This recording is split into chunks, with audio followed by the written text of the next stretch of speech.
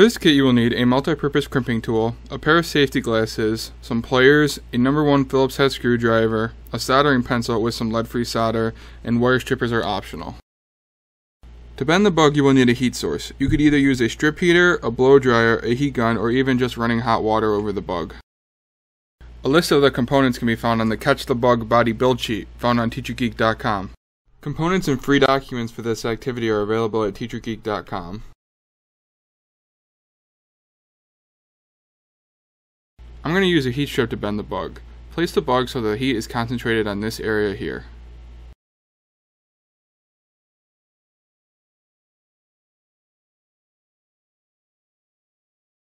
You can check your bug to see if the plastic is hot enough to bend. If it's not, just set it back down on the strip heater and wait a little bit.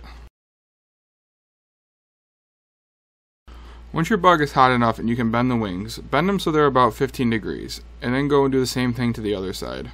You only want to heat your bug enough so it's slightly flexible, you don't want to melt the plastic. Now that your wings are bent, you want to bend the tail. Place it so the heat is concentrated right here. Once the plastic is hot enough, bend the tail 15 degrees downwards and you have your bug formed. Attach the battery holder using the small screws. Place them through the holes shown on the diagram.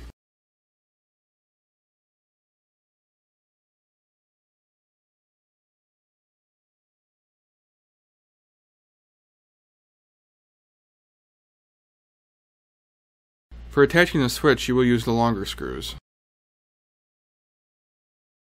Grab your switch and then set it on the bug. Take your screw and screw down the switch. Now don't screw it in all the way until you get the other screw started and then you can go ahead and tighten them down. Once you've installed one switch, go ahead and do the other side.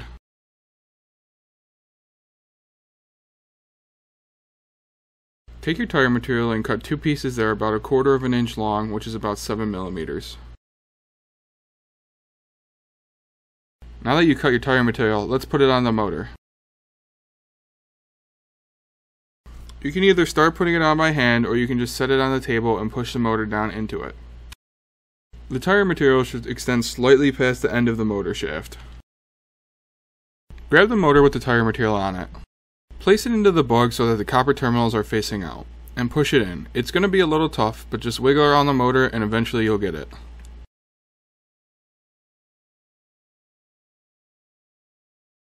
Take both of your feeler wire and mark them at 1 inch.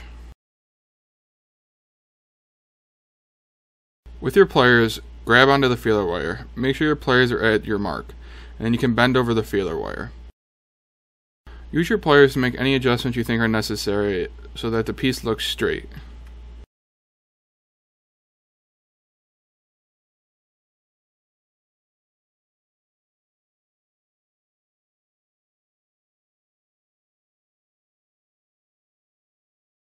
On page 6 of your instructions, you can use the template to bend your feeler wire. Grab the feeler wire as shown in the picture. Place the pliers onto the template and bend the feeler wire to the contour of your template.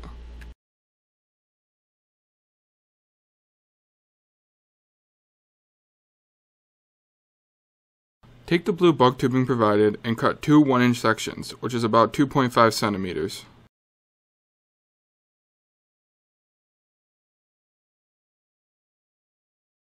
Slide a piece of the blue tubing onto the switch lever.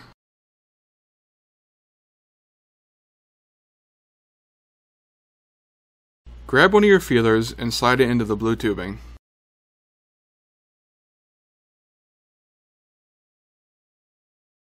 If it's a little tough to push, you can just go and grab a pair of pliers and easily push it down the rest of the way.